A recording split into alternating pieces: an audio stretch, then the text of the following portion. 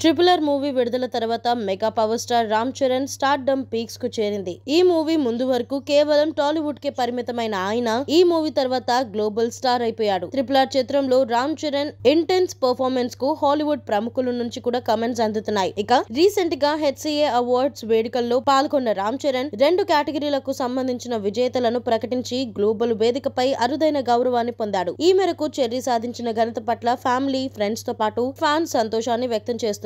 ఇదే క్రమంలో పదేళ్ళ క్రితమే లిరిసిస్ట్ చంద్రబోస్ చరణ్ గురించి చెప్పిన ఒక మాట ఇప్పుడే నిజమైందని గుర్తు చేస్తూ రచ్చ మూవీ డైరెక్టర్ సంపత్ నంది సంబంధిత వీడియోని షేర్ చేశాడు. రామ్ చరణ్ స్టార్ అవుతాడని పాటల రచయిత చంద్రబోస్ దశాబ్దం క్రితమే జోషన్ చెప్పారు. విషయానికి వస్తే రెండు వేల పన్నెండులో విడుదలైన రచ్చ సినిమా బాక్స్ ఆఫీస్ వద్ద కమర్షియల్ హిట్ అయింది. అయితే ఈ మూవీలో రామ్ చరణ్ ఇంట్రడక్షన్ సాంగ్లో అతను గ్లోబల్ స్టార్ కాబోతున్నాడు అనే ఒక లైన్ ఉంటుంది. ఈ పాటను చంద్రబోస్ పదేళ్ళ క్రితం రాయగా రెండు వేల ఇరవై రెండులో విడుదలైన త్రిపుల్ ఆర్ చిత్రం ద్వారా రామ్ చరణ్ గ్లోబల్ వైడ్ క్రేజ్ని సంపాదించాడు. కాగా రచ్చ సినిమా దర్శకుడు సంపత్ నంది ఇదే విషయాన్ని తన ట్విట్టర్ ఖాతాలో షేర్ చేశాడు. ప్రస్తుతం ఈ ట్వీట్కు అభిమానుల నుంచి విపరీతమైన స్పందన లభిస్తోంది. అలాగే ఈ ట్వీట్కు రిప్లై ఇచ్చిన చంద్రబోస్ అక్షరాల నిజం తమ్ముడు హృదయంలోంచి వచ్చిన మాటకు ఉన్నన్న శక్తి అది అంటూ రీట్వీట్ చేశారు. ఈ ట్వీట్లో సంపత్ నంది పేర్కొన్న మరో ఇంట్రెస్టింగ్ విషయం ఏంటంటే అప్పుడు రచ్చ సినిమాలోని పాటకు చంద్రబోస్ లిరిక్స్ ప్రేమ రక్షిత్ కొరియోగ్రాఫ్ అందించారు. ఇప్పుడు